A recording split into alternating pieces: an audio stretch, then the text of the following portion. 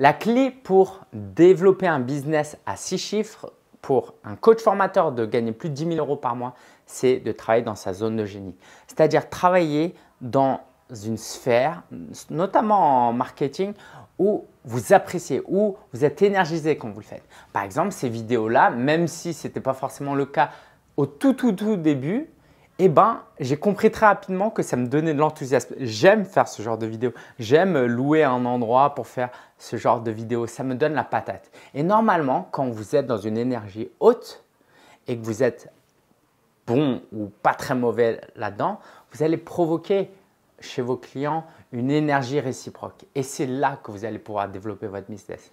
Le problème, c'est que plus vous avancez dans votre business et moins vous aurez de temps.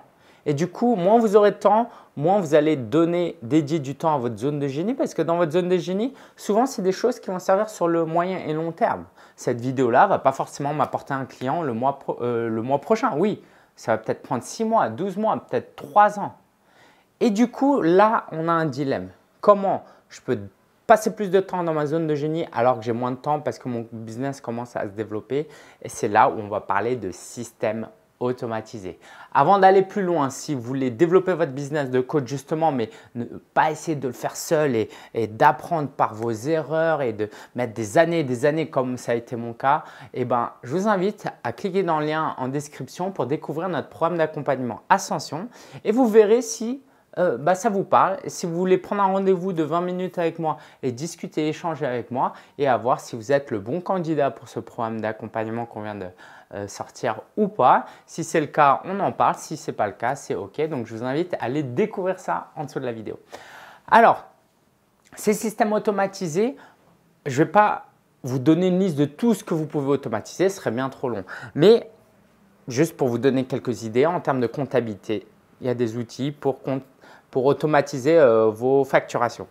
Euh, en termes marketing, vous pouvez mettre des tunnels de vente en place des choses qui sont automatisées où votre contenu et vos euh, amplificateurs d'autorité vous permettent de transformer vos prospects froids en prospects chauds et de les amener à des appels automatiquement avec vous. Un autre exemple, c'est par exemple pour les coachs débutants, ce que j'invite à faire, c'est d'aller sur les réseaux sociaux et d'aller contacter des gens pour leur proposer, tout de suite, hein, attention, vos services, leur offrir un appel et peut-être leur proposer euh, de travailler avec vous.